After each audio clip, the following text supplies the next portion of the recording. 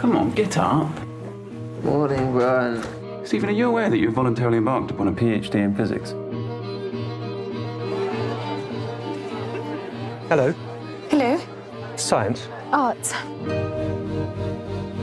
a cosmologist. What's that? I study the marriage of space and time. The perfect couple. One never knows from where the next great leap forward is going to come, or from whom. What if I reverse time to see what happened at the beginning of time itself? Wind back the clock. Wind back the clock. Keep going. I don't know how. Yet. Keep winding. Where to? It's called motor neuron disease. Life expectancy is two years. I want us to be together for as long as we've got. It'll affect everything. You don't realize what lies ahead. This is going to be a very heavy defeat. But I love him. And he loves me.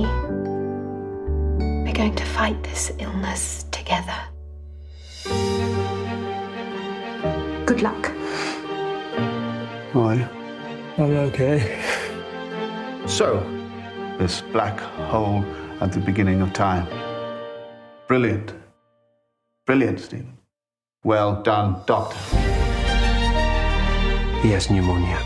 The only way he will survive will be to give him a tracheotomy. He will never speak again. Yes, he will.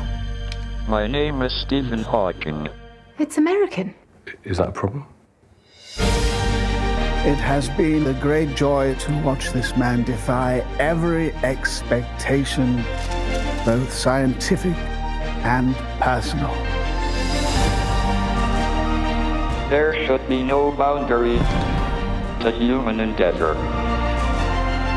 However bad life may seem, while there is life, there is hope. Thank you. Sorry, did you say something? I said, thank you.